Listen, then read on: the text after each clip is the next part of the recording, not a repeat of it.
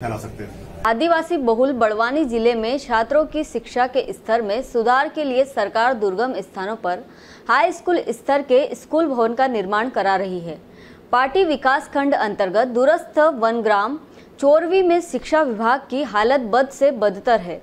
यहाँ बनाए गए शिक्षा के मंदिर भ्रष्टाचार की भेंट चढ़ गए। कुछ सालों पहले बनाए गए स्कूल भवनों की स्थिति इतनी खतरनाक है कि वो खंडर में तब्दील हो गए हैं।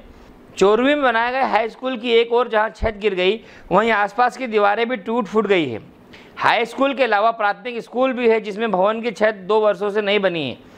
यहाँ के शिक्षकों और स्थानीय लोगों के प्रयास से ग्राम पंचायत भवन में मिडिल और हाई स्कूल तीन कमरों में संचालित हो रही है। साथ ही पंचायत के अतिरिक्त कक्ष में मिडिल स्कूल संचालित होकर वहाँ अब पंचायत का सामान रख ताला लगा दिया गया है।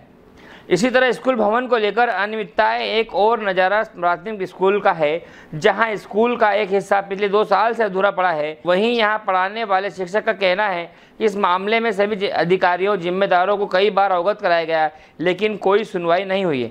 बड़वानी से अतुल कुमावत की रिपोर्ट। आठ दस साल पुरानी हो आठ नौ तो अभी स्कूल कहाँ चल रही है? ये पंचायत भवन में चल रहा पंचायत भवन में चल रही है। कहाँ से कहाँ तक की क्लास लगती है? छः से दस तक है कितने कमरे भवन है इसमें?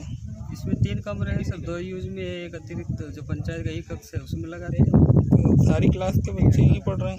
हाँ सर सर इस पे कोई कार्रवाई हुई है क्या? स्कूल जो है जीर्ण शीर्ण हो गया और अभी तक पंचायत में चल रहा है? सर ये तो लगभग दस ग्यारह में बना होगा। ये स्कूल कहाँ लग रही है? पंचायत भवन में। कहाँ से कहाँ तक की स्कूल है? सिक्स से नहीं टेंथ तक लग रही है यहाँ पर। कितने कमरे में लग रही है? तीन कमरे में।